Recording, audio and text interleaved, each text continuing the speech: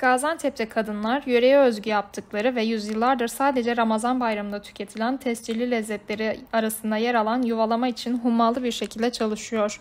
Dünyaca ünlü Gaziantep mutfağının vazgeçilmezi ve en özel yemeklerinden yuvalama, yapım aşamasındaki tüm zorluklara değen bir tat olarak damaklarda yerini almak için hazırlıkları başladı.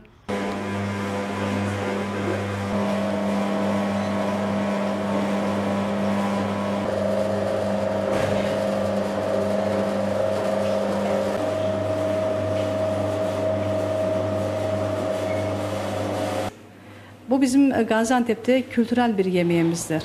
Geçmişten geleceğe e, biz bu geleneğimizi devam ettirmek istiyoruz. Aşağı yukarı e, biz 3 aydır bir yoğunluk içerisinde e, yuvarlama yapmaktayız. Bu kültürün, bu dokunun bozulmasını istemiyoruz. Günde şu an e, tabii ki üretim fazlalaştı. Aşağı yukarı herhalde bir 100-150 kilo yapıyoruz. Sadece Gaziantep'te e, imalat yapmıyoruz. Büyük şehirlere de gönderiyoruz. Diğer illerimize de gönderiyoruz.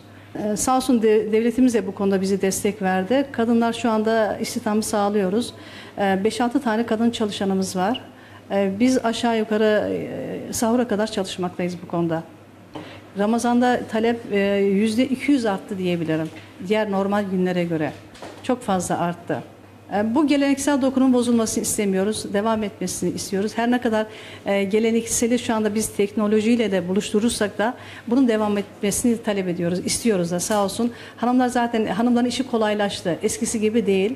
E, Şayet ben şuna inanıyorum ki eğer ki bu makineler çıkmamış olsaydı zannedersem e, bu geleneksel yemeğimiz biraz herhalde kaybolacak gibiydi. Çünkü meşakkatli ve zor bir yemektir bu.